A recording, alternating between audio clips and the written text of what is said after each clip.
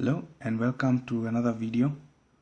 So today we are going to day 3 so let's create a day 3 folder. Right click over here select new folder. Call it day 03 then create a file inside index.html start with the HTML uh, declarations. So now since we we know we must do the HTML declarations, uh, VS Code can help us make them easily. So I like using the word IDE. So IDE means integrated development environment. That's integrated development environment. So it's a type of an IDE because it helps us uh, generate code easily and be more productive. So that's why I use the word IDE and Visual Studio interchangeably. So let's see how it can help us. So just hold shift and press 1 to type the exclamation there when once you type it press tab to finish and it will set up for you the HTML declarations. So first of all you have the doc type here uh, the language uh, so the HTML open tag and the closing tag and an attribute called lang which is set to English. So this is language English. Okay so don't worry much about the meta tags. Uh, they will make sense later when we discuss them, but they should be there. And so only these and this was not there in our previous one. But everything is there, the HTML opening, the head and the body. So we just change this to uh, today's topic which we are doing images. We want to set images in our pages. Then let's center uh, heading here. H1 called adding images to our web page. Okay. So let's do that. First let's see how that looks on a browser.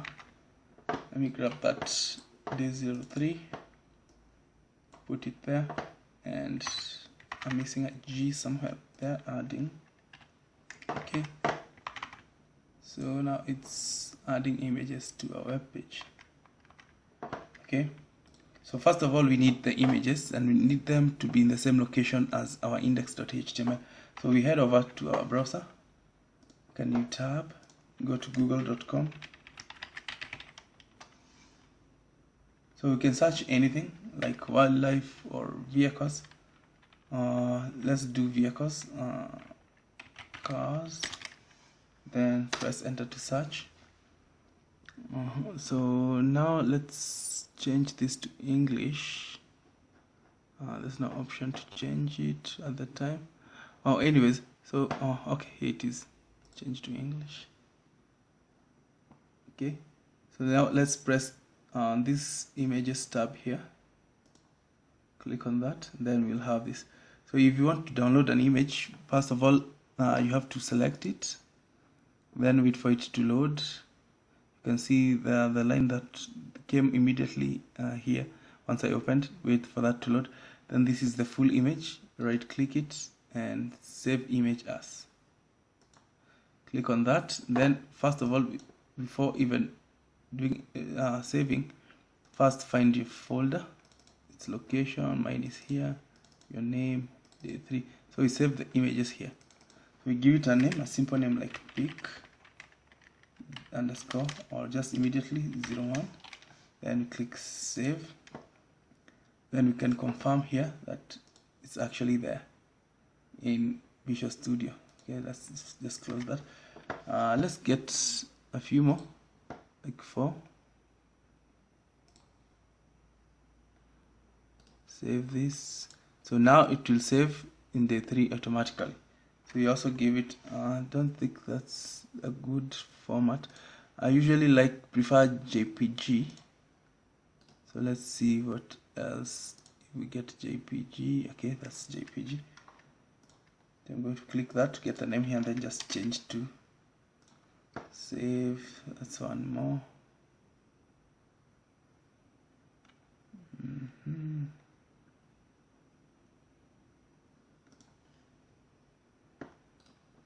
save the JPG click that.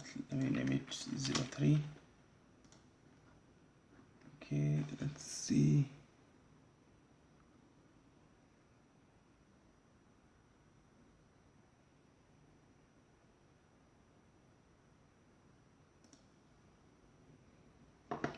Okay you can also download this one.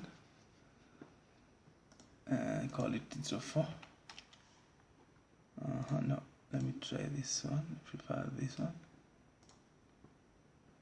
Okay. Uh-huh it's not the same format. Try this one. Okay. The same format. For save. So now we have images in our folder. So we can confirm them here view icons so here our images. Is our file. So let's see how to upload uh, I mean to add images to our web page. With a code? Okay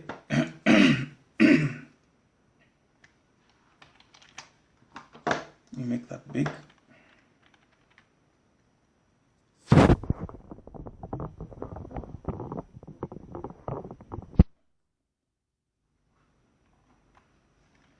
okay so we use the tag img format which exists just as one tag. We don't have a closing img tag. Then inside here we need attributes to set the image. So src meaning source.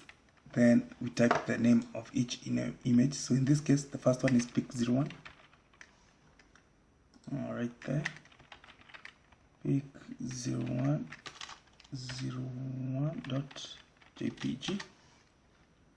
okay let's see how that looks.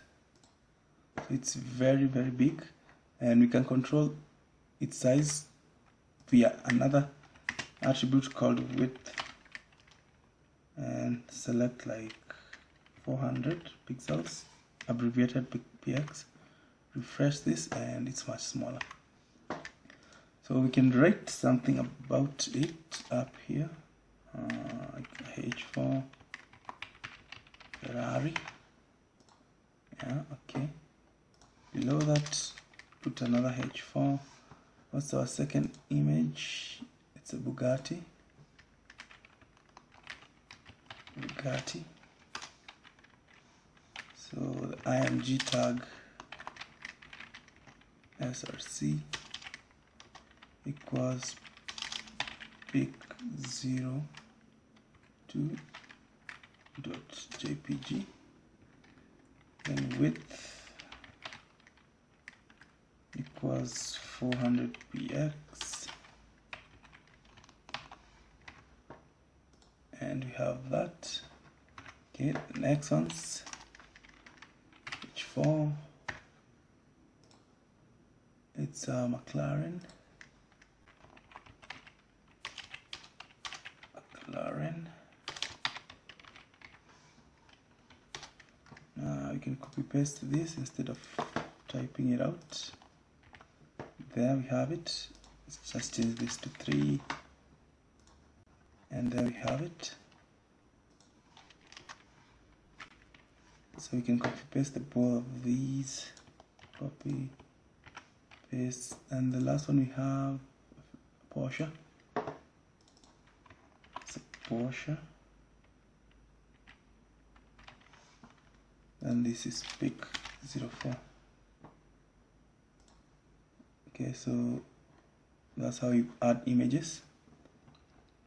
And you can see here we've used only width because if we try and put height we might mess up the aspect ratio and it won't look very symmetrical. So let's try like 500 px and see for the last one.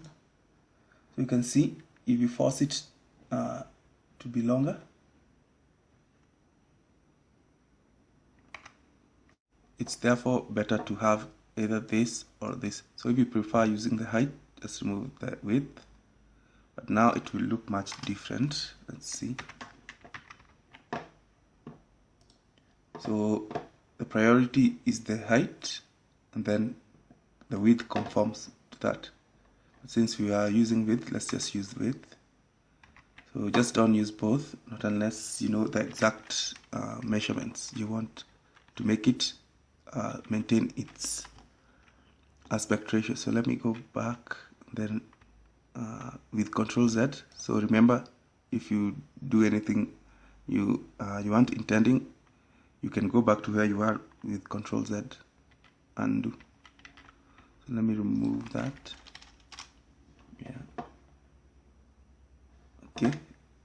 Let's see now. Okay so that's okay. So that this is all about images. Uh, that's it about images. I'll see you on the next video